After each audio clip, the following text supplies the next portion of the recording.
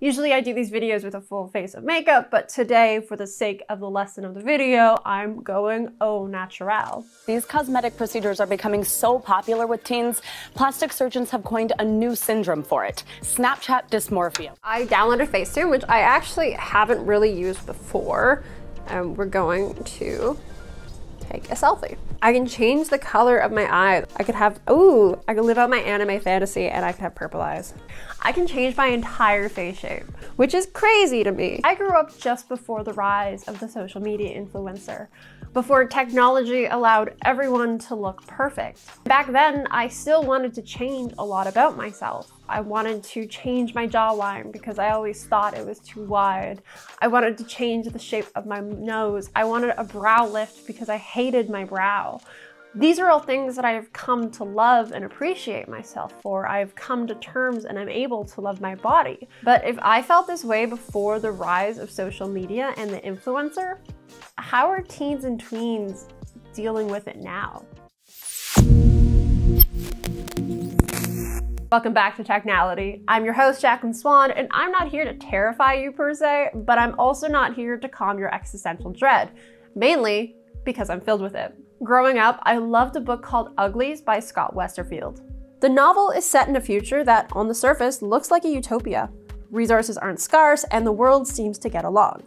Also, up until the age of 16, you are considered ugly. On your 16th birthday, though, you're given a surgery that lets you become society's standard of beautiful or pretty.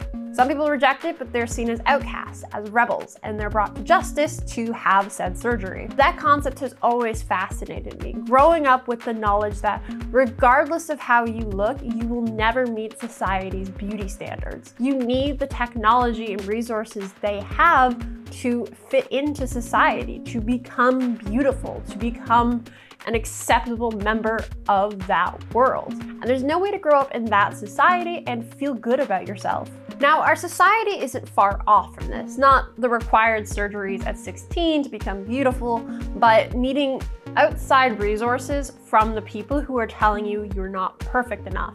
I used to think there was just fat and skinny. Apparently, there's a lot of things that can be wrong on your body. My hairline is so weird. My pores are huge. My nail beds suck.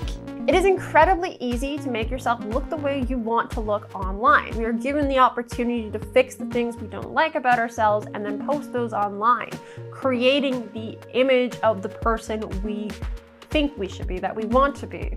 And that better version gets attention. Social media pushes images of people who are beautiful. You are getting the feedback of people telling you that you are gorgeous in these images even though it's not really you. And the more attention, the more likes that we see, we get a dopamine rush. We know that's how social media works.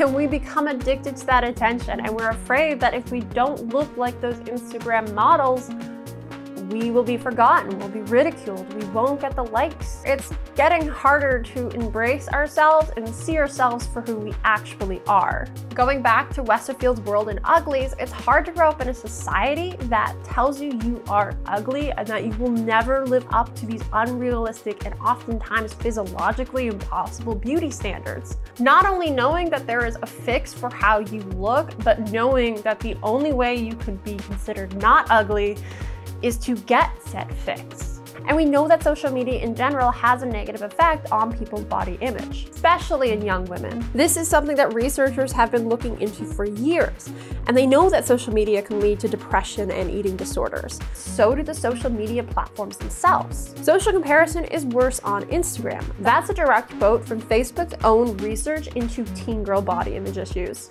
And the American Society of Plastic Surgeons released a report on who received plastic surgery and for what in 2020. Those 13 and 19 only made up 2% of those who received plastic surgery. That's 229,000 teens who sought out cosmetic surgery and that number still feels pretty high. The surgeries they were most likely to get to were nose reshaping, eyelid surgery, ear surgery, laser hair removal, and laser skin resurfacing. These are all little tweaks that are meant to help perceived imperfections. However, getting these surgeries doesn't necessarily help with social media-induced body dysmorphia. In most cases, it can make it worse.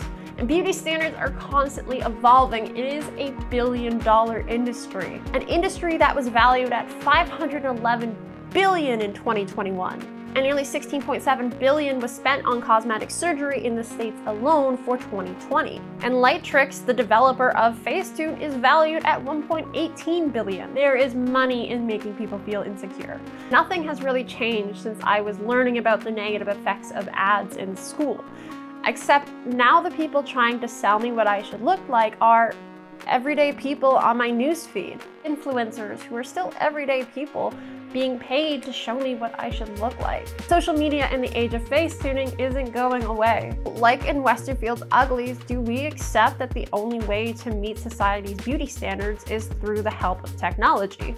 Or does a lot of this come down to how we're able to love ourselves? If we are able to accept and acknowledge that what we're seeing online isn't real, can we accept our most authentic selves? I would love to hear your thoughts in the comments below, and if you are interested in seeing more content like this, please subscribe to Technality and leave us a like.